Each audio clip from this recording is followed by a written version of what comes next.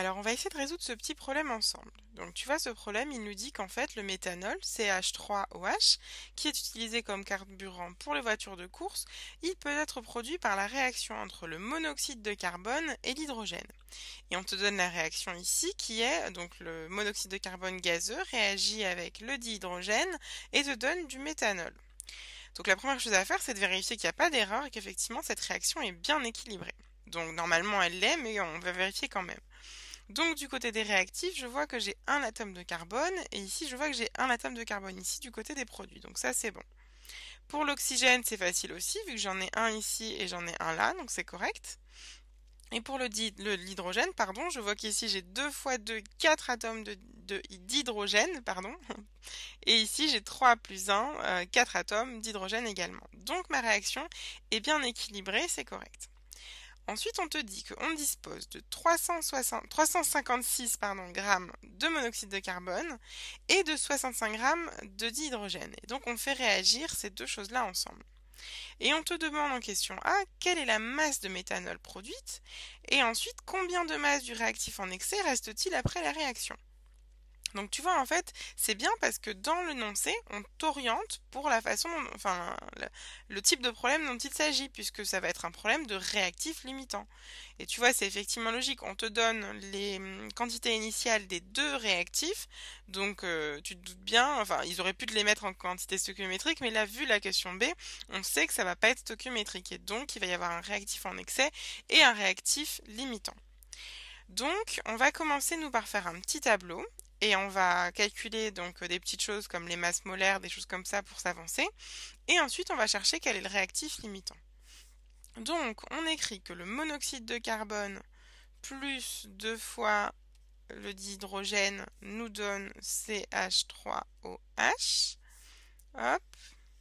Et comme on voit que là, dans ce problème, on va encore avoir finalement à jongler entre les, les moles et les grammes, puisqu'on te demande que des, calculs de masse, et toi tu sais que pour euh, l'équilibre d'une réaction, tout se calcule en mol, parce que ce que te dit la réaction ici, c'est que une mole de monoxyde de carbone réagit avec deux moles d'hydrogène pour te former une mole de méthanol, donc on sait qu'on va avoir besoin des masses molaires. Donc hop, on se met comme ça et on calcule les masses molaires en grammes par mol pour commencer. Donc là, on va le faire de tête parce que c'est facile. Hein. On sait que le carbone, c'est 12 et l'oxygène, c'est 16. Donc ça, c'est facile, ça nous fait 28. Ensuite, l'hydrogène, on sait que c'est 1. Donc 2 fois 1, ça nous fait 2. Et le, le, donc le méthanol, c'est 12. Donc on va, on va l'écrire puis l'effacer. 12 pour le carbone, plus 3, plus 16, plus 1. Donc là, ça nous fait 4, 5, 6, 2 fois 6, 12. Et je retiens 1, 32. Donc voilà, c'était facile. Comme ça, on l'a fait pour chacun des composés. Et, euh, donc, c'est bien. Donc maintenant, on va, euh, on va écrire les masses. Donc ici, c'est le bilan. Donc c'est euh, vraiment les masses que j'ai dans mon réacteur. Donc c'est comme ça. Ici on me dit que j'ai 356 grammes et ici que j'en ai 65,0. Et donc ce que je disais c'est qu'on va calculer quel est le réactif limitant. Alors pour ça, ce qui est bien en fait, c'est de calculer le nombre de moles dont tu disposes pour chacun de tes réactifs et de diviser ce nombre de moles par, euh, par le coefficient stoichiométrique. Puisque tu vois que là je dis qu'une mole de monoxyde de carbone réagit avec deux moles de dihydrogène et que si je divise mon nombre de moles par 2 de dihydrogène, eh bien je devrais je compare à la même chose si tu veux. Et donc là je vais pouvoir dire quel est le réactif en excès et quel est le réactif limitant. Donc, pour le nombre de moles de CO, donc là, je, reprends toujours mon unité, tu sais, de la masse molaire. Je sais que la masse molaire, c'est des grammes par mol, donc c'est une masse sur un nombre de moles. Et comme moi, je veux un nombre, de moles, je vais devoir euh, diviser la masse par la masse molaire. Donc, ça me fait 356 divisé par 28. Donc, je prends ma petite calculatrice. 356 divisé par 28. Hop. 12,7 mol. 12,7 12, mol. Et donc j'ai dit qu'il fallait que je divise par euh, le coefficient stoichiométrique pour comparer. Donc ici c'est n de CO divisé par 1, puisque là j'ai un 1. Donc ça reste 12,7 mol. Alors, et pour le dihydrogène, H2, eh bien je fais pareil, donc ça me fait 65,0 divisé par 2. Donc là c'est facile, ça me fait juste 32,5. 32,5 mol. Et ensuite, pour comparer, je calcule donc le nombre de masses de H2 divisé par 2 pour le coefficient stoichiométrique. Alors, faut pas se tromper, hein, ce 2-là, c'est la masse molaire. Et là, c'est le coefficient stoichiométrique. Et donc, bah, ça, ça me fait 32, 16, 25. Et là, je compare lequel euh, est en excès. Je vois que celui qui est en excès, c'est le dihydrogène, donc en excès et que mon réactif limitant, eh bien, c'est le monoxyde de carbone.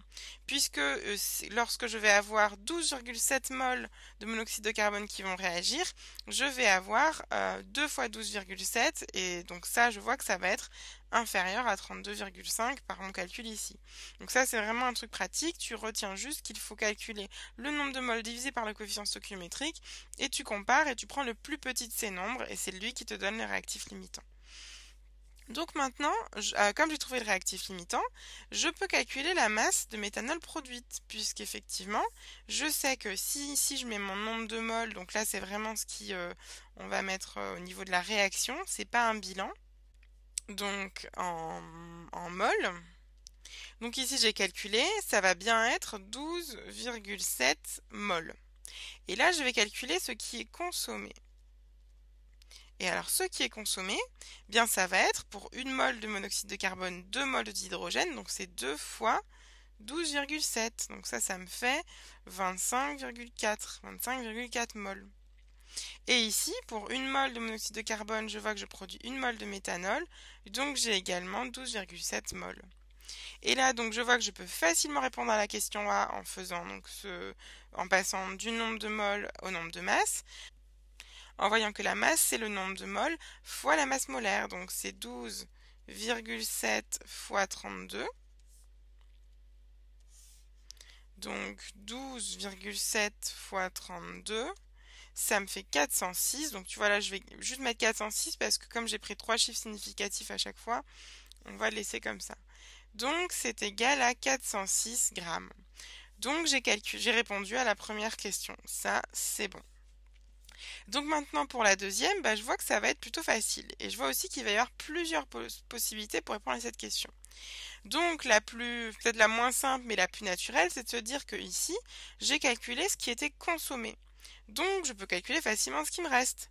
Puisque maintenant, si je continue dans cette couleur-là pour la question 2, euh, j'ai dit que finalement le nombre initial euh, de H2, c'est ce que j'ai calculé ici, c'est 32,5 mol le N consommé, donc conso de H2, c'est 25,4 mol.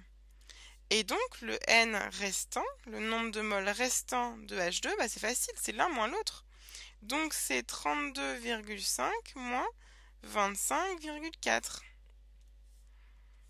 Donc 32,5 moins 25,4, hop, ça me fait 7,1.